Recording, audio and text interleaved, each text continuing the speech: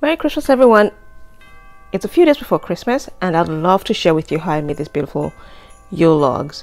Um, I'll be sharing with you how I made the macarons, the fillings that I put in the macarons, the kind of technique I use, how I painted the macarons as well. In addition, I'll be sharing with you how I made the sponge cake for the Yule log, um, how I roll it, the whipped cream frosting or filling that I use for it, and then of course the German buttercream that I use. This video is going to be part of a multi-series. I hope you follow along and you enjoy this as much as I enjoy making it for you. Alright then, let's get started.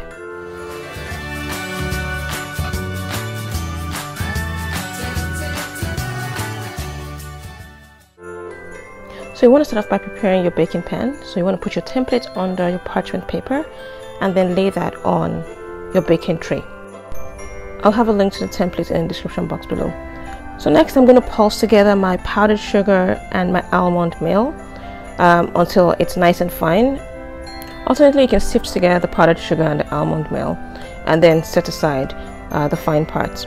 Alright, next we're going to move on to making the meringue. Add your egg whites and cream of tartar to your mixing bowl. Um, you want to make sure your mixing bowl and your whisk are really really clean. You can wipe them down with white vinegar just to make sure you don't have any added fat in the mixing bowl or on the whisk and then whisk until the egg whites are nice and frothy. So you want to do this on uh, a medium speed. Once it looks nice and frothy you want to start adding the sugar slowly to the egg and tartar mix. So add that slowly and then you can increase the speed to medium high. So keep that going until your meringue is nice and glossy and then keep whisking until you have until you get stiff peaks like this. So next you want to add the almond meal and powdered sugar in three increments. So that's the first increment. You want to fold that in. Make sure that you're scraping the sides of the bowl and the bottom of the bowl as well.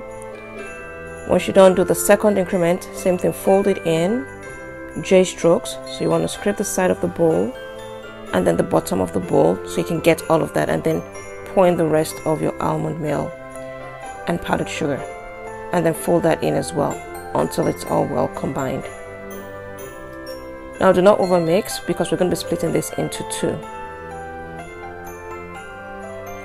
So now take half, and it doesn't have to be exact, scoop out half of the mixture into a bowl.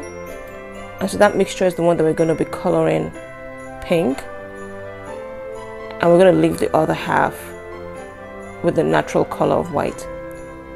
So for this, keep mixing and pressing against the side of the bowl until the mixture looks like thick honey.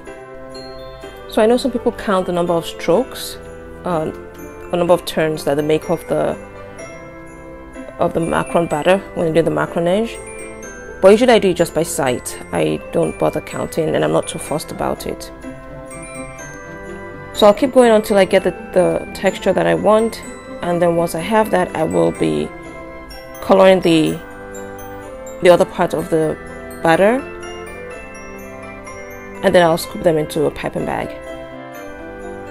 So here I'm adding my food coloring. And same as before I will do the same with pressing against the sides of the bowl trying to get out some of the extra air. And then mixing this until I get the texture that I'm looking for. Again, I'm looking for like a thick honey texture. And then sometimes when you press it against the bowl, you'll see uh, the macaron batter falling back on itself. And then you know, you know it's ready at that point. So next I'm going to put this in a piping bag. So I'm starting off with the pink macarons.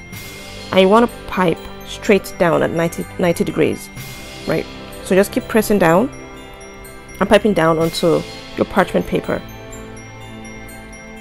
next I'm doing the same thing with the white um,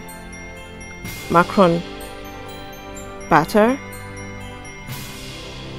And I'm going to take that as well and then pipe straight down onto the parchment paper. And because I'm working with pink and white and I don't mind having some swirls in there so that'll give me some macarons that have white swirls and then I'll have some that are just plain white I'll have some that are plain pink and that's fine by me. So push down all of that and then pipe again onto your parchment paper using the template as your guide 90 degrees straight down again so once you're done piping the macarons, hit your baking tray very hard, several five to six times to get rid of any extra air in the macarons. And then if you find that you have some tips on the top of your macarons, just wet your fingers and push them down a little bit. So slide the templates out from under the parchment paper and then leave your macarons to rest for about 15 to 20 minutes until the top is dull and no longer wet before you bake. Bake at 300 degrees Fahrenheit using the convection um, setting in your oven and bake for between 18 to 20 minutes until they're done. You'll know your macarons are done when you can peel them off the parchment paper easily and the top of the macarons no longer slide when you touch them in the oven. Leave them to rest for at least 10 minutes before you start decorating. To decorate, add some luster dust and a few drops of vodka into a bowl.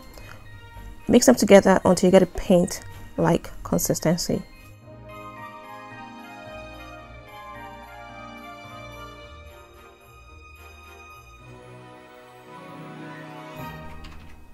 So highlight some of the macarons with um, some brush strokes of paint. So here I'm using silver, luster dust and vodka. And so I'm going to put a bit of that on the top of some of the macarons.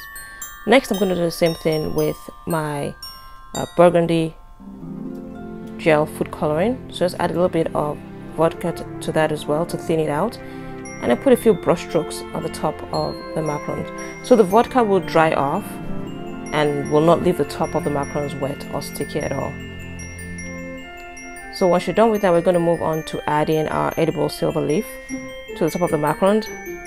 So that I'm going to use uh, my brush to peel off some of the edible silver leaf.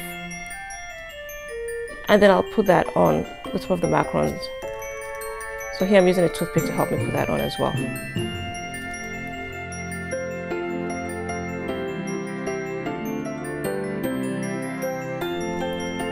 For these macarons, I'll be filling them with some jam, some jam filling. So this is raspberry jam filling.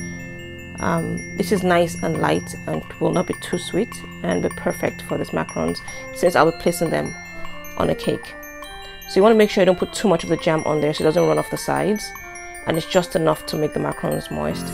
Once you're done filling your macarons, keep them in your fridge in an airtight container for about 12 to 48 hours so they can mature and so they are nice, chewy and delicious.